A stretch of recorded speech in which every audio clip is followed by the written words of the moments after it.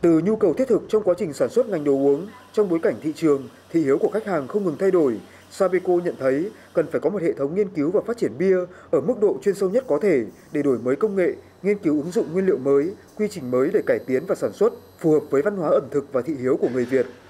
Phát biểu tại lễ khánh thành Trung tâm Nghiên cứu và Phát triển ngành bia Sabeco SRC,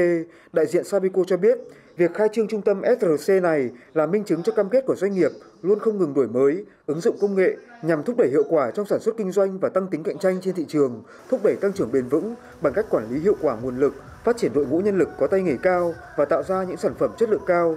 SRC sẽ là nơi thử nghiệm công thức và quy trình mới trước khi chuyển giao áp dụng tại 26 nhà máy trong hệ thống. Đây là chiến lược của doanh nghiệp nhằm tăng cường năng lực sản xuất, tạo ra những sản phẩm đẳng cấp thế giới cho người tiêu dùng, qua đó mở rộng dấu ấn thương hiệu ra thị trường quốc tế.